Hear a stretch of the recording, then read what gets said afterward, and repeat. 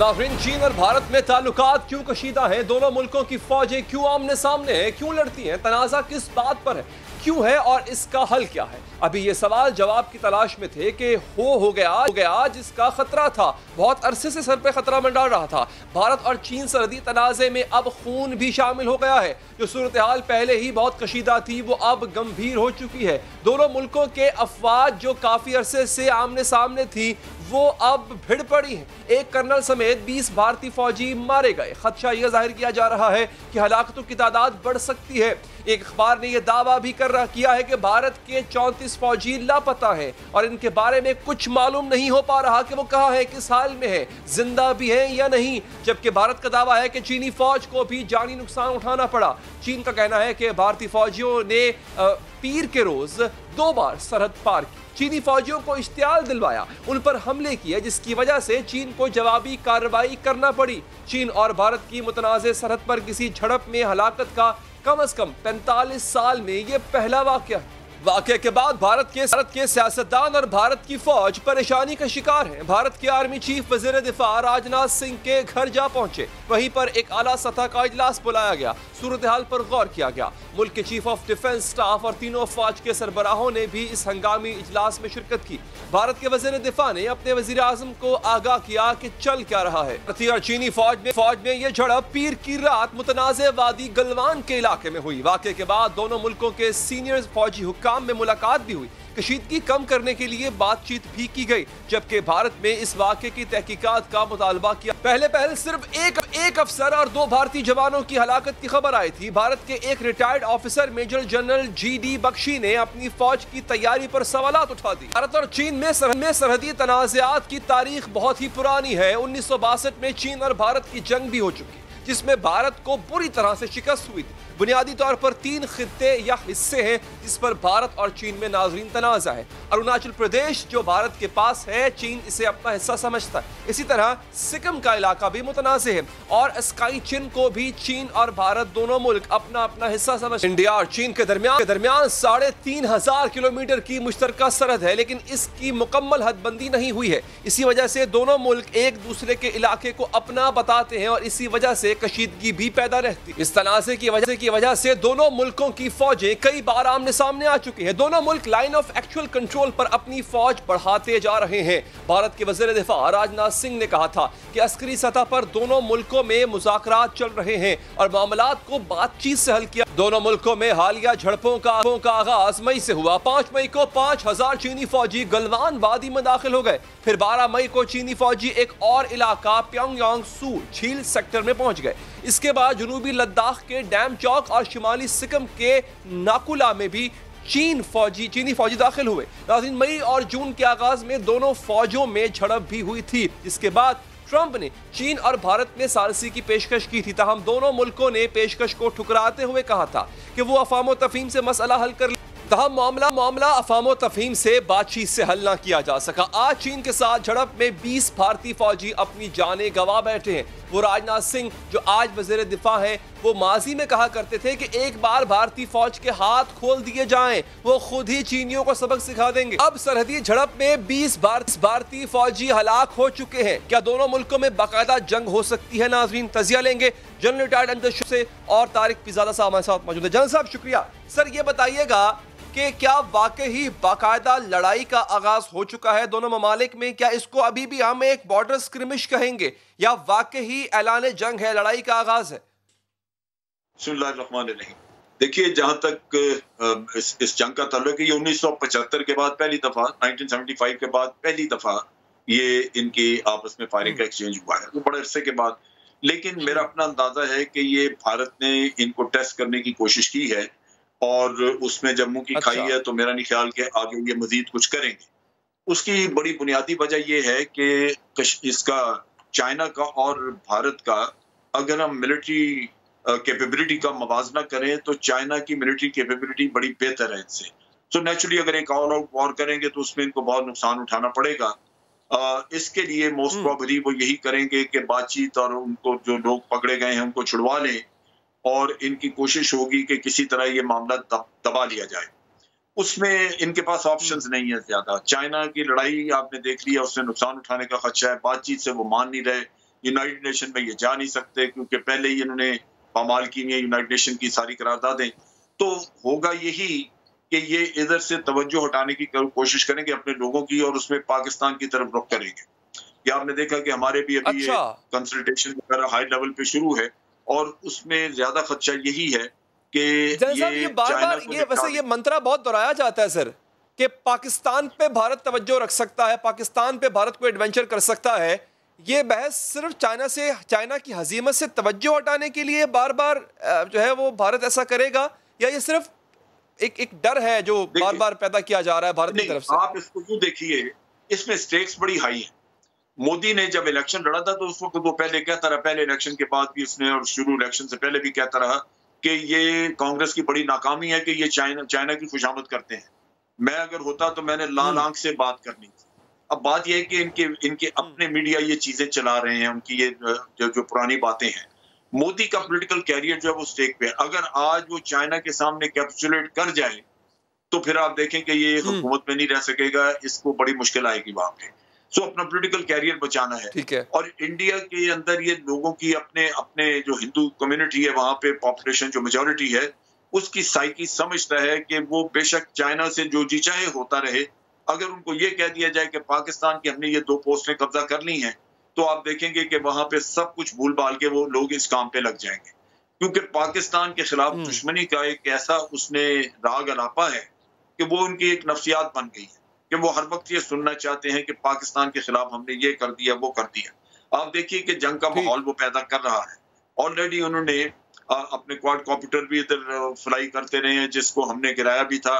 फिर आप देखिए कि अम्बेसी से लोग निकाल दिए अब अम्बेसी का वो कर ये सारे एग्रेसिव एक्शन हैं जहाँ वो एक जंग का माहौल रखना चाहते हैं। और अगर एक छोटा सा भी वहाँ पे अच्छा, का अच्छा। वाक्य करा दे तो वो उनको एक बहाना मिल जाएगा। साहब मैं मैं जरा साहब को भी शामिल गुफ्तगू करना चाह रहा हूँ। पिजादा साहब, ये बड़ी, बड़ा अहम पॉइंट जनरल साहब ने उठाया है। तवज्जो हटाना भी मकसद हो सकता है। अपनी पॉलिटिकल अपने पॉलिटिकल जो उनकी उनकी इंस्टीट्यूशन है या उनकी जो कॉन्स्टिट्यूंसी है, उसको सेटिस्फाई करना भी मकसद हो सकता है। सिर्फ़ खबरें ये आ रही हैं पिजादा साहब के तीन नहीं, कम से कम बीस भारतीय फौजी मारे गए हैं। ये डेथ टोल बहुत ज़्यादा है सर इसको हजम करना आसान नहीं है। दे हैव टू रिटेलिएट और they have to give an answer आपको लगता है सर ये मजीद एस्केलेट करेगा? और अगर करेगा सर तो कहाँ तक जाएगा? पाकिस्तान को भी बीच में शामिल होना पड़ेगा। नहीं वो एक बात तो बड़ी वाजे है कि भारत के तासुर देना चाहता है कि वो कई महाजों पर एक से ज़्यादा महाजों पर एक से ज़्यादा मुल्कों के साथ अस्करी तसादम जो है वो करने की पोजीशन में है जंग करने की पोजीशन में है और वो एक से ज़्यादा महाजों पर जंगी कार्रवाई करने की सलाहियत रखता है चाचे आप इस वक्त देखें हम्म। ज़रा जो जोग्राफिया है हमारा पाकिस्तान चीन नेपाल ये तीन और और उससे चंद महीने पहले पिछले साल डोकलाम में भूटान के साथ साथ जो चीन का इलाका है वहाँ पर भी जो, जो कार्रवाई हुई थी जिसमें भारत को पसपा होना पड़ा था और बड़ी बड़ी शर्मिंदगी के साथ। तो ये कोई नई बात नहीं है कि उन्हें शर्मिंदगी उठानी पड़ेगी बासठ में भी उठाई थी। वो कोशिश ये कर रहे हैं अपनी नई रवायती हथियारों की कुत की बुनियाद पर और मोदी नरेंद्र हम्म। मोदी दहशतगर्द की सोच की बुनियाद पर कि हम एक अपनी बड़ी कुत होने का तासुर दुनिया में पैदा करें। सोचे अब आप जो मर्ज़ी कहते रहे कि उनके इतने फौजी मारे गए दुरुस्त है के मारे गए हैं। चीनियों ने मारा है उनका हाथ ऊपर है। लेकिन इसके साथ साथ जो दुनिया में खबर जा रही है कि भारत चीन से टकराने की कोशिश कर रहा है।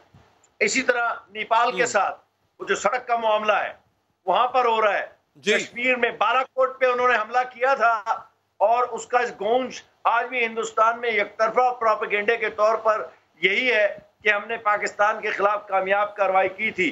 तो ये दुनिया में जो। तासुर गया था कि भारत एक बड़ी कुत के तौर पर अपने आप को आजमा रहा है। लिहाजा ये नतीजा अखज करना गैर अस्करी और गैर तस्वीराती या ये स्ट्रेटिजिक बात नहीं होगी कि भारत सिर्फ़ ठीक है। उस मामूली सी सरहदी झड़पें कर रहा है और उसका कोई बड़ा मकसद नहीं है और चंद किलोमीटर का इलाका अगर लद्दाख में वापस आ गया तो वो इसके साथ चुप हो जाएगा। हम्म, हम्म। बड़े मकासद है बड़े अजाइम है। देखना यह है कि पाकिस्तान अच्छा। जो मुसलसल अमन का राग गाता है हिंदुस्तान के साथ क्या पाकिस्तान बालाकोट की कार्रवाई का इतमान बख्श जवाब देगा? क्योंकि मेरे नज़दीक बालाकोट की कार्रवाई का इतमान बख्श जवाब नहीं दिया गया था। अच्छा जनरल साहब, आप इस पर क्या कहेंगे सर? क्या अब हमारा भी जवाब देना बनता है भारत को और भारत के लिए 20 अपने जवान, उनकी हलाकत को हजम करना आपको लगता है आसान होगा? चाइना को, भारत को जवाब बिलाकर देना पड़ेगा और उस जवाब में हो सकता है मजीद मुँह की खानी पड़े, मगर जवाब देना पड़ेगा। देखिए, भारत ने जो नैरेटिव अपनाया है, वो थोड़ा मुख्तलिफ़ है और उसमें ये चीज़ कवर अप करने की कोशिश की गई है। वो ये कहते हैं कि हमने जंग लड़ी है हमारी कैजुअलिटीज हुई है लेकिन चाइना की भी बहुत हुई चुनाचे ये स्टोरी बिल्डअप की जाएगी कि अगर हमारे दस मारे गए तो हमने भी बीस मार दिए।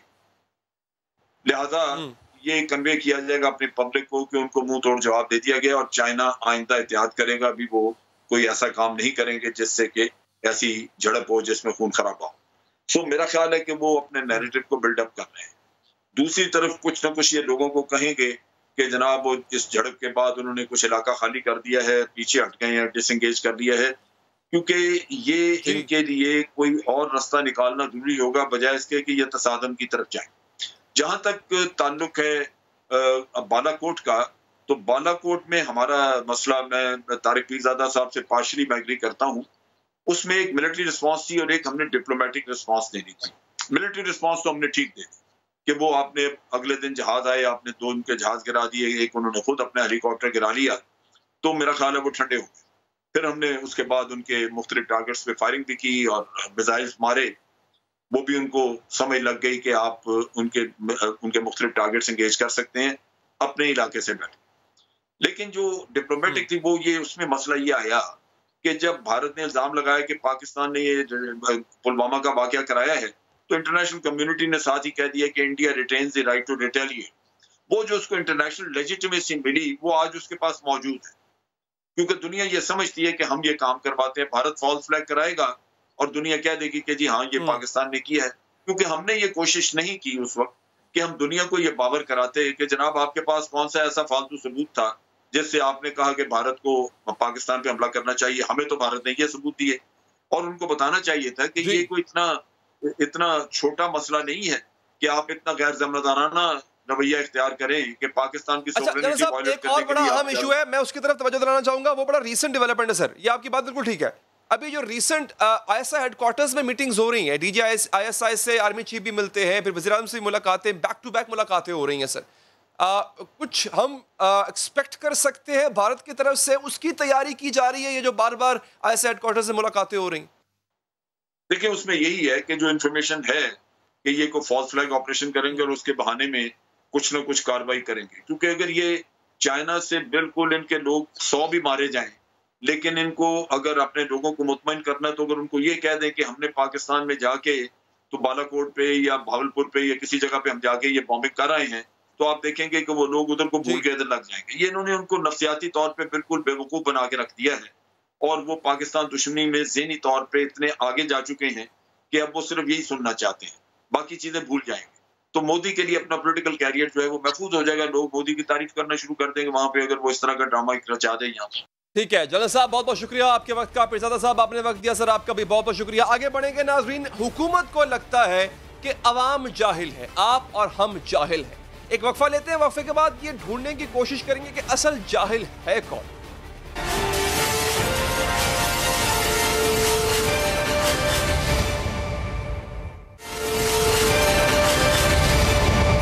कोशिश फ्लॉप होने के बाद, हर हरबा आजमाए जाने के बाद, हर हिकमत अमली की नाकामी के बाद, कोरोना के फैलाव को रोकने की एक और और कोशिश की जा रही कोरोना की तबाहकारियों के आगे बंद बांधने के लिए मुल्क भर के सेक्टर इलाकों को, सैकड़ों इलाकों को 14 दिन के लिए बंद किया जा रहा है। इस्लामाबाद, लाहौर, कराची, पिशावर और कोटा समेत मुल्क भर के इन 20 शहरों की निशानदही की जा चुकी है, जहाँ कोरोना तेज़ी से फैल रहा है।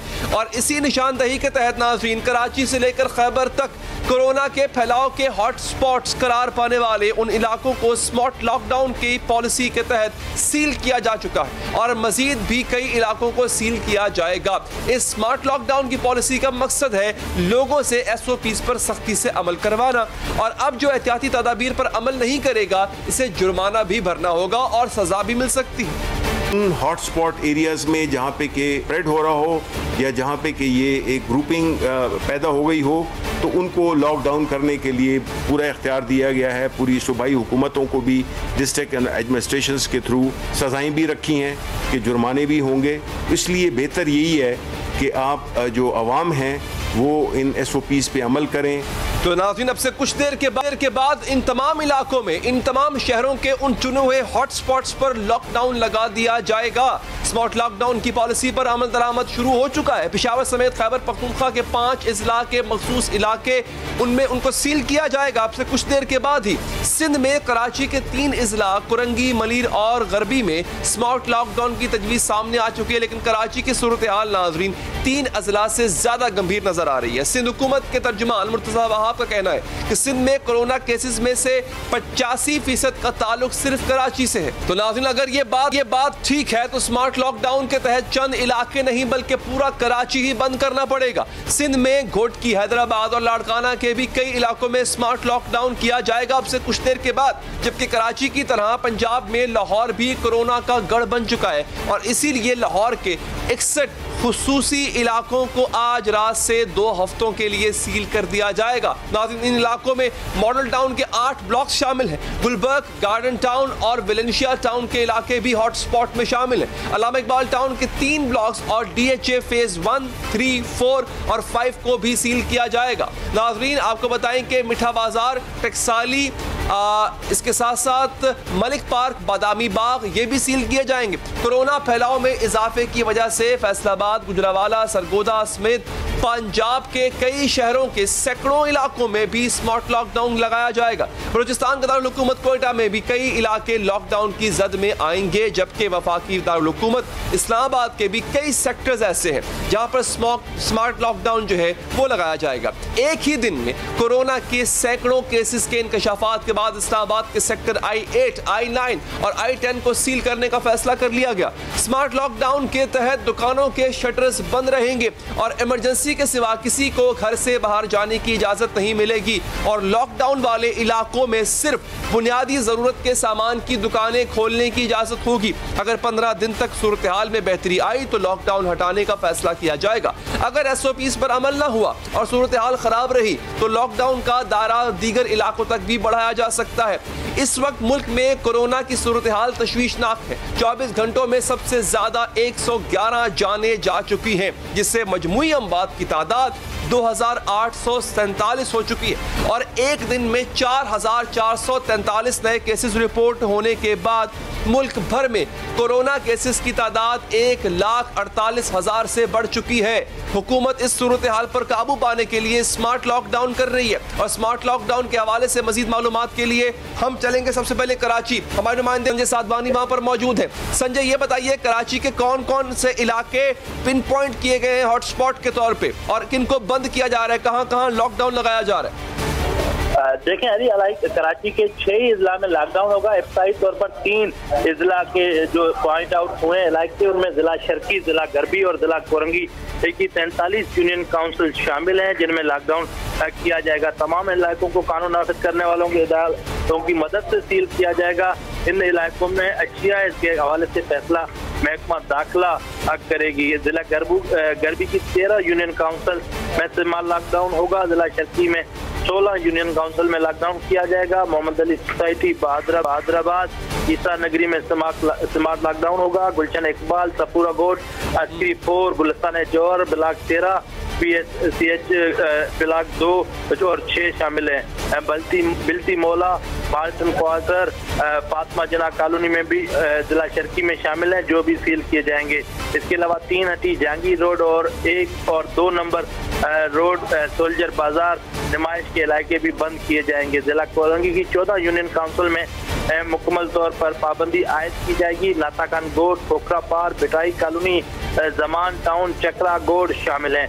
कोरंगी लांडी, मलीर, शाह फैसल कॉलोनी में भी लॉकडाउन किया जाएगा। Nasir colony, Awami colony, model colony Alfalah Drigh road में भी लॉकडाउन किया जाएगा। क्योंकि कराची सबसे ज़्यादा मुतासर है। सिंध में मजमू तौर पर अब तक पचपन हज़ार से ज़्यादा केसेज रिपोर्ट हो चुके हैं। उनमें से पैंतालीस हज़ार केसेज सिर्फ़ कराची से रिपोर्ट हुए हैं। कराची का जिला शर्की जो सबसे ज़्यादा मुतासर जिला सिंध में है, उनमें ग्यारह हज़ार पाँच सौ से ज़्यादा केसेज अब तक पॉजिटिव रिपोर्ट हुए हैं। दूसरे नंबर पर सबसे ज़्यादा मुतासर जिला जिला जनूबी है। जिला जनूबी के हवाले से फैसला कुछ देर में किया जाएगा। जिला जनूबी के वाले से बताया जा रहा है कि लियारी सदर टाउन इसके अलावा डीएचए के मुख्तलिफ़ में भी लॉकडाउन किया जाएगा।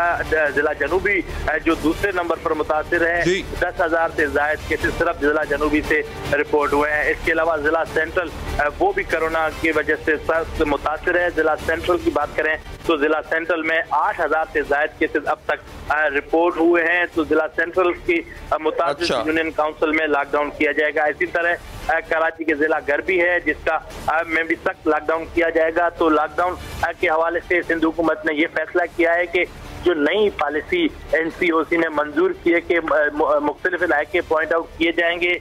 उन इलाकों में ये गलियाँ, मोहल्ले सील किए जाएँगे। तो उसके बाद सिंध हुकूमत ने ये बड़ा फैसला किया है। इब्तई तौर पर तीन इजला की तैंतालीस यूनियन काउंसिल बंद होगी, जिससे कराची की तकरीबा हम कह सकते हैं पच्चीस फ़ीसद आबादी जो है वो मुतासर होने का खदशा है क्योंकि जिला जनूबी जो शहर कायद की शहर को समझा जाता है और इसके अलावा जिला शहर की इन दोनों अजला में सख्ती ज़्यादा की जाएगी क्योंकि यहाँ पर ज़्यादा केसेज रिपोर्ट हुए हैं जी। बिल्कुल ठीक है। संजय साधवानी हमें कराची से अपडेट कर रहे थे। बहुत बहुत शुक्रिया आपका नाम। लाहौर की आवाम। बल्कि पूरे पाकिस्तान की आवाम कोई अलग ही मखलूक। कोई बात मानते नहीं है, कोई बात सुनने को तैयार ही नहीं होते, कोई बात समझते नहीं है, हर चीज़ को तमाशा बना लेते हैं। जो एहतियात बताई जाए, इसे इख्तियार नहीं करते। एहसास दिलाया जाए तो नाराज़ हो जाते हैं। ये गिला है कि पंजाब की वज़ीर सेहत जो ये गिला किया है, ये पंजाब की वज़ीर सेहत यासमीन राशिद ने किया और किया है पाकिस्तान की आवाम से। और इसी बुनियाद पर उन्होंने उन्होंने आवाम को आपको हमें जहल करार दी। दुनिया में ऐसी मिसाल मुश्किल से मुश्किल से ही मिले जब किसी मुल्क के लीडर ने टेलीविज़न पर बैठकर अपनी आवाम को जाहिल कहा हो। अल्फाज का चुनाव गलत, सही नाजरीन। लेकिन पाकिस्तानियों की गैर संजीदगी के बारे में यासमिन राशिद की बात काफ़ी हद तक ठीक सही है, क्योंकि दुनिया में अठहत्तर लाख से जायद अफराद कोरोना का शिकार हो चुके हैं, चार लाख से जायद अम्बात हो चुकी हैं। सिर्फ़ पाकिस्तान में मुसदा केसेस की तादाद डेढ़ लाख से बढ़ चुकी है। दो हज़ार आठ सौ से ज़्यादा पाकिस्तानी जा बहक हो चुके हैं। इसके बावजूद तिरसठ फ़ीसद पाकिस्तानी वो कोरोना को मुबालगा समझते हैं, वो यकीन ही नहीं करते कोरोना पे। ये बात गैलिब पाकिस्तान के सर्वे में सामने आई। इसके अलावा तैंतालीस फ़ीसद पाकिस्तानी कोरोना के बारे में साध साजिशी नजरियात रखते हैं। वो समझते हैं कोई कॉन्स्परेसी है कोई साजिश है। इनके ख्याल में ये अमरीका और इसराइल की जानब से मुसलमानों के खिलाफ एक साजिश है जो पाकिस्तानी कोरोना को एक संगीन बीमारी समझते भी हैं। इनके ख्याल में इनका मदाफियाती निज़ाम इनका इम्यून सिस्टम इन्हें कोरोना से बचा ले। पाकिस्तानी मीडिया अवा, अवाम में आगाही फैलाने की कोशिश करता है। इन्हें हक के बारे में बताना चाहता है। कोरोना की हलाकत खेजी की खबर देता है। लेकिन अवाम मीडिया को भी साजिश का हिस्सा समझते हैं। उसकी बात पर यकीन यकीन नहीं करती पाकिस्तानी अवाम का ख्याल है कि कोरोना वायरस में कोई हकीकत नहीं है। कोरोना वायरस इन्हें कोई नुकसान नहीं पहुँचा सकता। सोशल मीडिया पर बहुत ही गलत ही गलत मालूम फैलाई जाती हैं। अवाम को बताया जा रहा है कि उनके प्यारों को जहर का टीका लगाकर मार दिया जाता है। इन्हें कहा जा रहा है कि वो बीमार पड़े तो अस्पताल न जाए। और फिर जब कंफ्यूजन फ्यूजन की मारी, ये आवाम कोई एहतियात करने का सोचती भी है, कोई एस कोई स्टैंडर्ड ऑपरेटिंग प्रोसीजर अपनाती भी है तो इसका हाल क्या होता है, पता इस वीडियो से आपको चलेगा, जो हफीज पीस सेंटर लाहौर में बनाई गई। नाजीन देखिए जरा कि दाखिली दरवाजे पर खड़ा गार्ड किस तरह आने वालों का टेम्परेचर चेक कर रहा है और किस रफ्तार से कर रहा है। लेकिन अगर रियाया यासमीन राशिद के, के कहने के मुताबिक जाहिल है तो इस जहालत में हुक्मरानों के बयान का कितना हिस्सा है? लंदन का एक बहुत ही मारूफ अदाकार है नाजरीन इदारा है इंपीरियल कॉलेज उससे मौजूदा डाटा पर तखमीना लगाया कि अगस्त के वस में पाकिस्तान में एक दिन में कम अज कम अस्सी हज़ार अफराद, जी हाँ सही सुना आपने, अस्सी हज़ार अफराद एक दिन में और ज़्यादा से ज़्यादा डेढ़ लाख अफराद कोरोना की वजह से फौत हो जाएँगे। ये डेली की एवरेज बताई जा रही है। लेकिन हमारे वज़ीर बरए मनसूबाबंदी कहते हैं कि इंपीरियल कॉलेज की राय दुरुस्त समझने वाले गोरे की जहनी गुलामी कर रहे हैं। एक गोरे की जहनी गुलामी जो है ना इंपीरियल ने स्टडी छाप दी, अब वो सब जो है सुबह से लेके शाम तक। सर, हमें इस बात में कोई शर्म नहीं है। हम जहनी तौर पे गोरे की गुलामी करने के लिए तैयार नहीं है। हमारे अपने Pakistani scientist world class data analyst artificial intelligence के एक्सपर्ट्स एपिडियोमोलॉजिस्ट फोरकास्ट करते हैं। यही वज़ीर मनसूबाबंदी कोरोना कोरोना जैसी वबा का मवाजना रोड एक्सीडेंट से कर रहे थे। कहते थे कोरोना से ज़्यादा लोग तो ट्रैफ़िक हादसा में मर जाते। माह के अंदर 720 लोग कोरोना की वजह से उनकी मौत वाक़ हो, हो सकती है अगर ये मौजूदा सूरत हाल बरकरार रहे। लेकिन इसके साथ पाकिस्तान का ही में एक औसत महीना के पाकिस्तान में एक महीने में औसतन 4,800 से ज़्यादा लोग अपनी जान खो बैठते हैं ट्रैफ़िक एक्सीडेंट के ज़रिए में। लेकिन हम ट्रैफ़िक फिर भी अलाउ करते हैं। गाड़ी सड़क पर फिर भी चलती है। खुद वजी अजम इमरान खान को खान कोरोना को एक मामूली सा फ्लू कहा करते थे। पंजाब की वज़ीर सेहत कहती थी कि ज़्यादा से ज़्यादा लोग जो है वो पैराडॉल खाकर ठीक हो जाएँगे, सेहतियाब हो जाएँगे। स्ट्रेस एक किस्म का फ्लू है। ये आप सबको इस चीज़ से थोड़ा सा मुतमिन होना चाहिए कि सतानवे फ़ीसद केसेस कोरोना के बिल्कुल ठीक हो जाते हैं। सतानवे में से नबे फ़ीसद ऐसे केसेस हैं जिनको बड़ी माइल्ड सी होती है। यानी एक जुकाम जिस तरह खांसी हुई और ठीक हो गई। अगर सौ बंदे इन्फेक्ट हुए तो अस्सी फ़ीसद पैनाडोल के साथ ही रिकवर कर लेंगे। उनको किसी किस्म की मजीद दवाई की ज़रूरत नहीं पड़ेगी। वजी अजम के मावन खसूसी बरए सेहत, डॉक्टर ज़फ़र मिर्ज़ा कहते थे कि हर किसी को मास्क इस्तेमाल करने की ज़रूरत नहीं है और बाद में यही ज़फ़र मिर्ज़ा कह रहे थे कि मास्क पहनना लाजमी करार दे दिया जाएगा।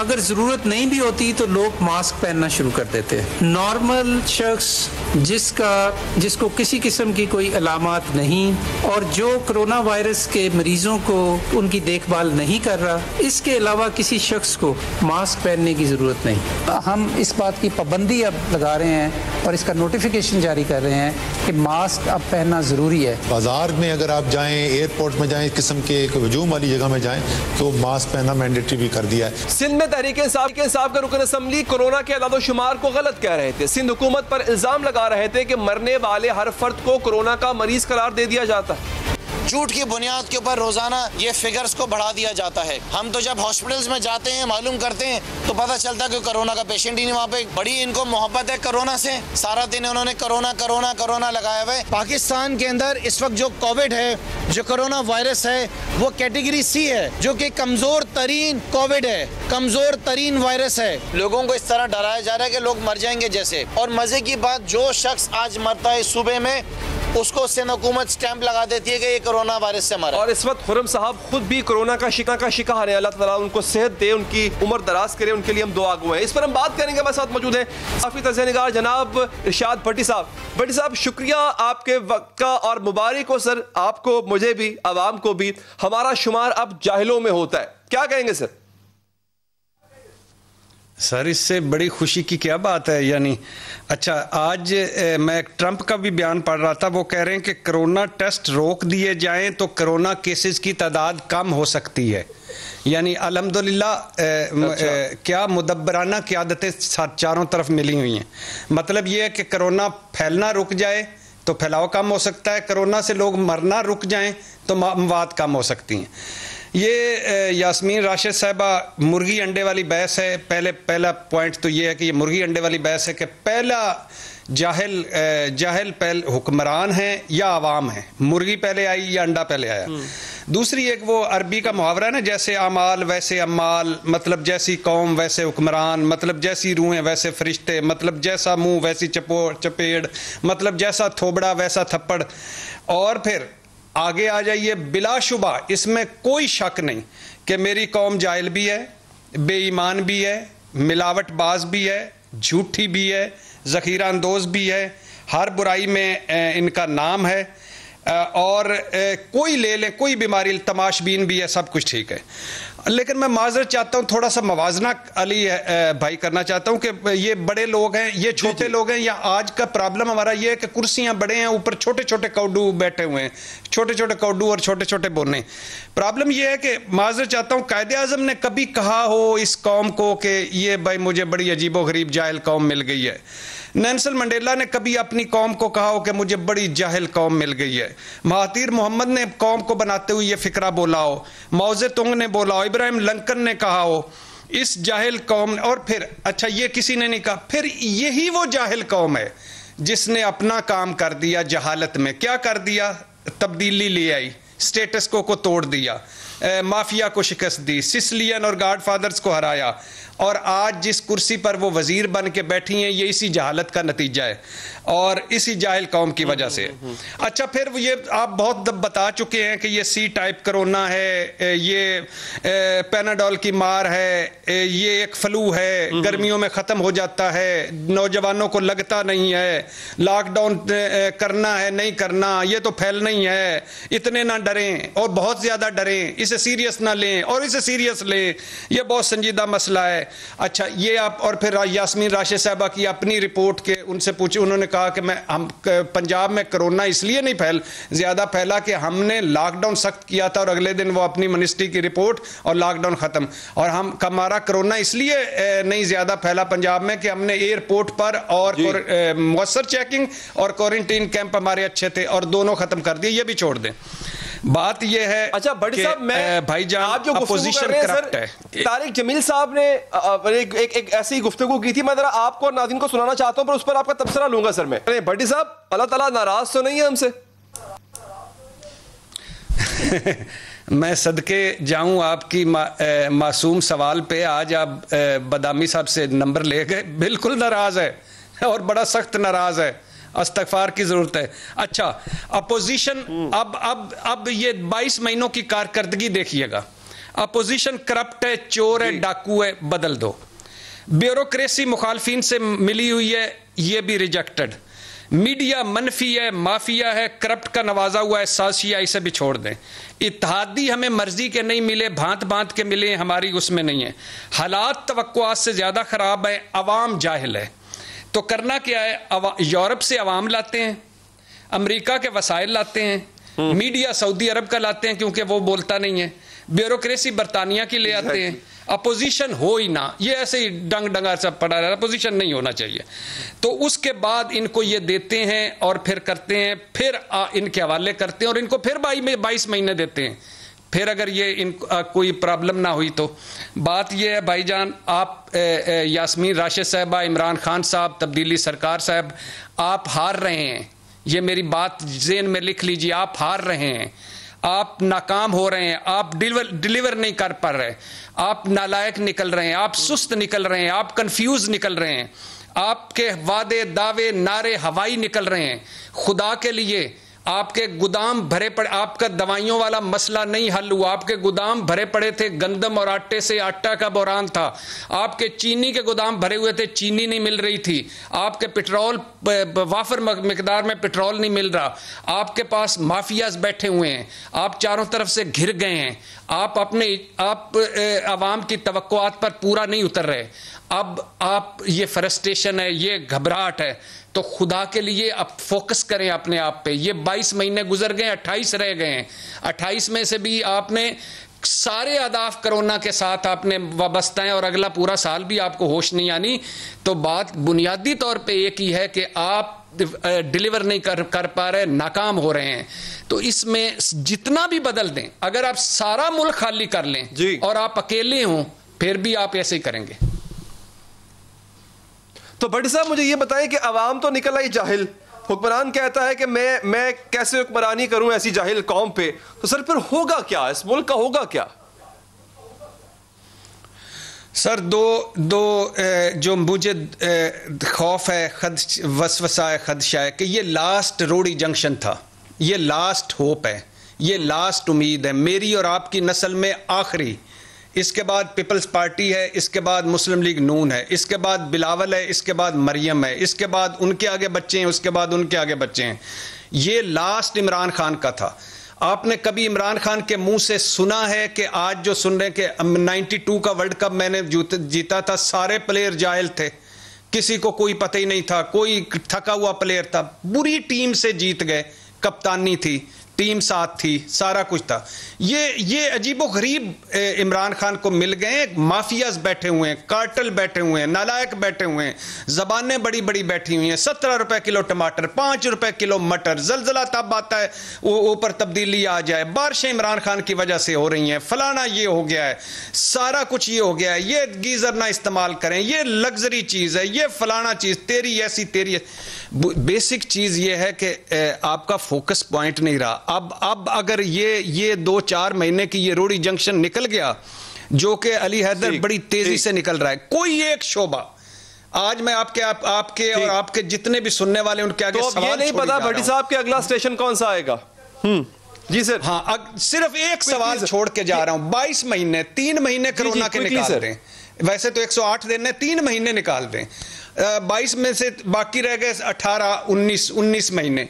इन उन्नीस महीनों में कोई एक शोभा सही हुआ हो कोई एक वादा पूरा हुआ हो कोई एक शोभा और बिल्कुल ठीक बड़ा अहम सवाल भट्टी साहब आपने छोड़ा है था इसका जवाब ढूँढने की कोशिश करेंगे का वो हम तो जाहिल हैं और इसका जवाब हम अगर ढूंढ भी लें तो जाने उनको यकीन आए कि ना आए। बहुत बहुत शुक्रिया।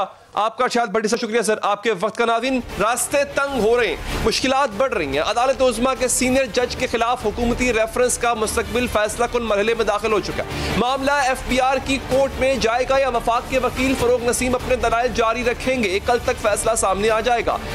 मुल्क की सबसे बड़ी अदालत में अदालती तारीख के अहम तरीन मुकदमे की समाज जारी है। जैसे जैसे रेफरेंस पर समाज आगे बढ़ रही है, नए इंकशाफात भी सामने आ रहे हैं। आम सवाल उठ रहे हैं। आज जस्टिस फायज ईसा ने सदारती रेफरेंस के खिलाफ दरख्वास्त में मजीद दस्तावेजा जमा करा दी है। दस्तावेजात में इंकशाफात सामने आए हैं कि वजी अजम इमरान खान की भी लंदन में छह जायदादें हैं। यही नहीं बल्कि वजी अजम के मावनी ने खसूसी शहजाद अकबर की पाँच और जुल्फी बुखारी की बरतानिया में सात जायदादें जबकि उस्मान डाल और फिरदौस आशिक अवान की भी बरतानिया में जायदादें हैं। जस्टिस ईसा ने अपने जवाब में कहा कि ये इल्ज़ाम नहीं लगा, लगा लगाता कि हुकूमती शख्सियात ने जायदादें नाजायज़ ज़रिए से बनाई लेकिन एफ़ पी आर तयन करे हुकूमती शख्सियात शख्सियात ने कितनी काबिल काबिल टैक्स आमदन ज़ाहिर की है? दरख्वास्त में सुप्रीम कोर्ट के सदा की गई है कि स्टेट बैंक तयन करे कि हुकूमती शख्सियात ने पैसा जायज़ तरीके से बैरून मुल्क भेजा या नहीं। असाजात रिकवरी यूनिट और इसके तमाम इकदाम कलदम करार दिए जाएँ। शहजाद अकबर से तमाम तनख्वाहें और मराद वापस ली जाए। दूसरी जानब, आज सदारती रेफरेंस के खिलाफ दरख्वास्त की समात में भी दस रुकनी बेंच के अहम तरीन रिमार्क सामने आए हैं। आज समात के दौरान हुकूमती वकील से कहा गया कि इस रेफरेंस में कानूनी नकाय नकाइस मौजूद। अगर ये कोई आम मामला होता तो केस कब का खारिज किया जा चुका होता? अगर सदारती रेफरेंस में बदनीयती साबित होती है तो केस खारिज हो सकता है। सुप्रीम कोर्ट के बेंच ने वफाक के वकील फरोग नसीम को दो ऑप्शन देते हुए कहा कि वो वजी अजम और सदर से मुशावरत कर लें कि वो इस केस को एफ़ पी आर के हवाले करना चाहते और अगर एफ़ पी आर का फैसला जज की अहलिया के खिलाफ आता है तो इस मामले को सुप्रीम जुडिशल काउंसिल के सामने पेश किया जाए। जस्टिस उमर अता बंदयाल ने कहा कि अगर सदर और वजी अजम इस पर आमादा नहीं होते तो फरोग नसीम अपने दलाइल जारी रखें और फिर अदालत कानून के मुताबिक फैसला देगी। और अगर वजी अजम और सदर इस तजवीज़ से इतफाक करते हैं तो अदालत दरख्वास्त गुजार, यानी जस्टिस काजी फायज ईसा के एक वकील की रजामंदी के बाद एफ़ पी आर को मामले की जाँच का हुक्म दे सकती है। सुप्रीम कोर्ट का बेंच कल फिर हुकूमती रेफरेंस के मामले पर समाप्त करेगा। इस रेफरेंस में क्या कमजोरियाँ हैं? और अगर मोजिज जज की अहलिया की जायदादे का मामला एफ़ पी आर में चला जाता है तो इसके क्या नतज हो सकते हैं? बात करने के लिए साथ मौजूद है, मरूफ कानूनदान, बैरिस्टर सलमान अक्रम राजा। बैरिस्टर साहब, शुक्रिया आपके वक्त का। कई और सवाल उठ गए। बैरिस्टर साहब, आज की समात में वज़ीर आज़म की शहजाद अकबर साहब की जायदादों का मामला उठ गया। सर, ये नए सवाल और ऑनरेबल जजेस की ऑब्जर्वेशन ये किस हद तक असरअंदाज हो सकती हैं किसी भी मुमकिन फैसले पर? देखिए, जो रिमार्क्स होती हैं, वो लाउड थिंकिंग होती है। वो ज़रूरी नहीं है कि फैसले की वो निशानदेही करें। इसलिए रिमार्क्स को रिमार्क्स के के तौर पे ही लेना चाहिए। ये हम देख सकते हैं कि मामला है क्या जो सुप्रीम कोर्ट के सामने है और उस तनाजुर में फिर आप उन रिमार्क्स को देखें और हर शख्स अपना खुद फैसला कर सकता है कि जहन में जज साहिबान के क्या सवाल हैं जिनके वो जवाब तलब कर रहे हैं। देखिए, एक बड़ा मसला इस मुकदमे में ये है कि एक जज साहब हैं, उनकी अहलिया और बच्चे हैं उनकी मिल्कियत में कुछ प्रॉपर्टी दरियाफ्त की जाती है। पहला तो सवाल ये पैदा होता है कि ये दरियाफ्त हुई किस तरह? जो एक शख्स था जिसकी जानब से कहा जाता है कि एक मसला मौसू हुआ। वो शख्स कौन है? कैसे उसकी रसाई हुई? क्या ये कोई रियासती सतह पर सतह पर जासूसी तो नहीं हो रही थी आला अदलिया की जज साहिबान की? तो ये एक सवाल है जो अदालत में उठ चुका है जिसका जवाब हुकूमत को देना है अदालत ने इस पर फैसला करना है। इसी तनाजुर में ये भी पूछा गया या देखा जा रहा है कि जो एसेट रिकवरी यूनिट है उसकी कानूनी हैसियत क्या है? जी। किस तरह एक कानून बनाए बगैर एक जो इदारा तश्कील दे दिया गया है वो किन किन हवालों से कार्रवाई कर सकता है? किन वाकयात में वो छानबीन करने का मजाज है? क्या उसके इख्तियार एफ़ पी आर या नैब या एफ़ आई ए के इख्तियार पर हावी हैं। ये तमाम कानूनी नौीयत के सवाल हैं जो अदालत के सामने हैं। फिर ये सवाल भी है कि जो ये रेफरेंस बनाई गई जिन शवाहद या जिन मरासलों की बुनियाद पर, क्या उस रेफरेंस का ताल्लुक खालिस्तान इनकम टैक्स के लॉ से है? एक आम शख्स अगर देखा जाए, उसकी अगर बीवी और बच्चों के नाम कोई जायदाद निकलती है तो कानून के मुताबिक क्या तरीका है? तरीका यही है कि बीवी बच्चों को नोटिस दिया जाएगा टैक्स के कानून के तहत। फिर उस नोटिस के बाद एक छानबीन होगी एक कार्रवाई होगी। तो ये सवाल हैं जिनके तनाजुर में ये पूछा जा रहा है कि क्या ये तमाम मामला नेक नियति से किया गया कानून के मुताबिक किया गया या मावराए कानून किया गया और उसमें कोई और हदफ था? ये सवाल हैं जो अदालत में उठे हैं। ठीक। तो बैरिस्टर साहब अगर ये मामला एफपीआर में चला जाता है तो फिर क्या इसके मुमकिन नतज हो सकते हैं? देखिए जो टैक्स का कानून है जो इनकम टैक्स का कानून है उसके तहत कार्रवाई होगी। ज़ाहिर है एफपीआर अपने कानूनी दायरे से बाहर निकल के तो नहीं कुछ कर सकता। उसमें फिर ये देखा जाएगा कि एहसासे जो हैं इनके हवाले से आ, क्या मालूम सामने आती हैं ये कब हासिल किए गए कैसे हासिल किए गए इन पर टैक्स की हुई नहीं हुई वो एक तमाम अमल है जो करेगा उसके बाद फिर देखा जाएगा कि जज साहब का इनसे क्या ताल्लुक बनता है। और अगर टैक्स के कवानीन के मुताबिक कोई फैसला आता है तो क्या वो जज साहब पे भी असरअंदाज हो सकता है? बाहिर तो ऐसा नज़र नहीं आता। लेकिन ये तमाम वो सवाल अच्छा। हैं जो आइंदा के लिए। अच्छा बैरिस्टर साहब for my understanding and for viewers understanding कि अगर एफपीआर में भी कोई लिंक साबित नहीं होता ऑनरेबल जज साहब के साथ तो फिर ये मामला उनकी अहलियत तक ही रहेगा या बिल्कुल ही खत्म हो जाएगा? देखिए ना ऐसे है कि मेरी अहलिया के पास कोई जायदाद हो, जो उन्होंने किसी अपनी विरासती रकम के ज़रिए हासिल की हो, और फ़र्ज़ कर लें कि वो जायदाद किसी टैक्स रिटर्न में ज़ाहिर नहीं की गई तो उससे खाविंद का कोई ताल्लुक नहीं बनता। वो ज़्यादा से ज़्यादा यही कहा जाएगा कि आपको इस जायदाद को ज़ाहिर करना चाहिए था, कोई गलत फहमी हुई या दानिस्ता तौर पर नहीं किया गया तो उसकी कानून में जो भी उसकी कॉन्सिक्वेंस है, कानून में फाइन है दीगर मामला हैं तो उनका ताल्लुक जो है उनकी अहलिया से या उस शख्स की अहलिया से होगा। ठीक है बैरिस्टर साहब बहुत बहुत शुक्रिया, आपके वक्त का प्रोग्राम का वक्त यहाँ पर खत्म हो चाहता है, दीजिए इजाज़त, अल्लाह के बाद।